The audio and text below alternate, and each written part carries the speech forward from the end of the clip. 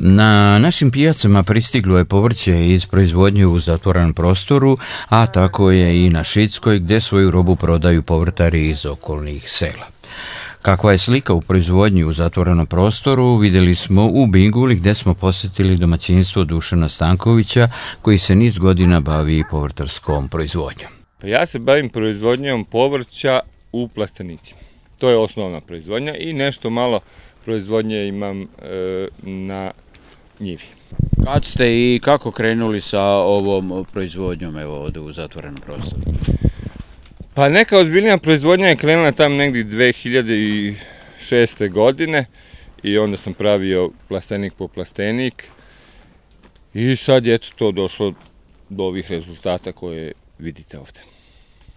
Ovo je jedan od zatvorenih objekata. Koliko ih imate još ovdje? Imam četiri objekta, e, svaki ima po 400 kvadrata, e, dužine 50 metara, širine 8 metara, a visine, visina objekta je 4 e, metara. Kakva su vam dosadašnje iskustva?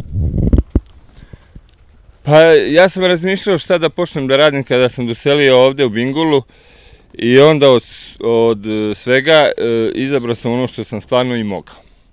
A to je poljoprivreda. Pošto nisam imao zemlje u svom posjedu, e, odlučio sam se da za ovu proizvodnju, proizvodnju u plastenicima.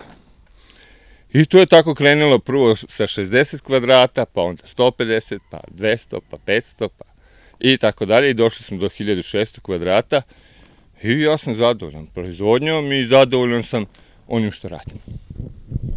Ko je sve angažovan u ovom poslu? Pa moja supruga, ja, moja sestra i ponekad deca.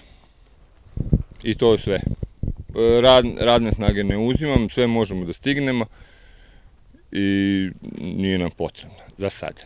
Bila je ovo kratka slika trenutnog stanja u povrtarstvu u zatvorenom prostoru, a kroz primjer porodice Stanković iz Bingule, gdje su pristigle salata, mladi luk, španać i blitva, a gdje nijedan dan ne prođe bez poslova u povrtnjaku.